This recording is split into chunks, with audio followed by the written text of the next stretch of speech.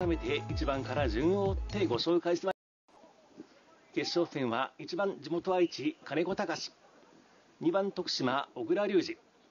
3番京都山本慎一。4番岡山川端智之。5番和歌山石塚凛太郎。6番福井鷲田浩二7番徳島久米亮。以上の7名によりまして中日スポーツ庁。S 級シリーズ奇跡の米女神の微笑み配送脱線 S 級決勝戦が行われます。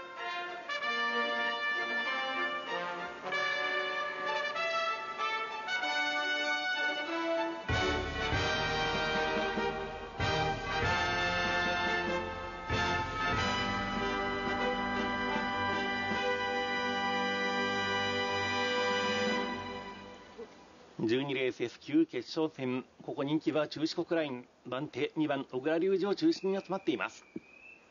奇跡の米女神の微笑み杯争奪戦発送します。さあ構えての号令かかりました。最後に5番の石塚合法なって12レース S 級決勝戦。金河新年木下聡の競輪で新年運試し式伝のスタート。まずは打ち飛び出して2番野倉隆二がスタートを決めています。それから7番久米亮を追って2番手4番川端智之3番手。後ろを1番金子隆が追っています。それから5番の石塚凛太郎が5番手からのスタート。後ろ3番山本慎一6番手。あとは6番鷲田浩二が最高峰の序盤戦。1周回目の3コーナーから4コーナーへと向かっています。4番川端智之に先頭変わってこの2番手が2番の小倉隆二。それから7番久米亮が3番手。中四国勢3名が前段。1番金子隆がまずは切れ目で短期4番手を回っています。対する5番の石塚凛太郎が後方の5番手回り。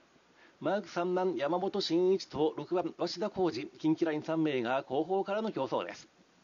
2周回目の2コーナーからバックストレッチ。これで1列棒状が出来上がってラインが戦勝影の通りに3対1対3に分かれています。人気の中四国勢が前からの競争4番川端智之が正攻法からとなっています。2日間抜群のスピードを見せています4番の川端。決勝戦押し切ることができるかどうか。そしてこのマーク2番野倉隆二。3日間の連携になりますがここも直線逆転を狙います。人気の中心です。あとは同県徳島で7番の久米亮が昨日に続いて小倉マークで3番と回っています。地元ホーム1番金子隆が短期の競争でまずは4番手から。ここは最後自力勝負あるかどうか。対する5番の石塚凛太郎が5番手からの競争です。準決勝では直線追い込む形になった5番の石塚ですが決勝戦先行勝負に持っていきそう。そしてこのマークには動ける3番山本慎一。さらには6番鷲田浩二が近畿ラインを固めて最高峰から追走です。青番周回3コーナーから4コーナー。縦一列の展開が続きますがここで5番手5番の石塚から上昇して残り2周回を迎えています。5番の石塚が前4番川端を抑えています。そして1番の金子は切り替え4番手4番川端が下がって5番手になってもう一度縦一列になっています。5番の石塚凛太郎が先頭を1列棒状続いて打者を迎えます。彼を聞いて流して5番石塚先頭番手を3番山本6番鷲田3番手。さあ5番手4番川端踏んでいくのかどうか4コーナーから直線。ここで前からペースアップ5番石塚凛太郎の先行です。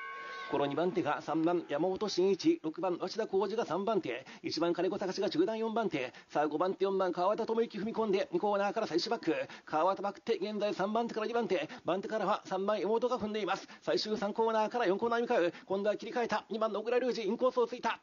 直直線コース。先頭3番山本2番小倉進み寄りますが3番山本ゴール3番2番3着争いがどうか。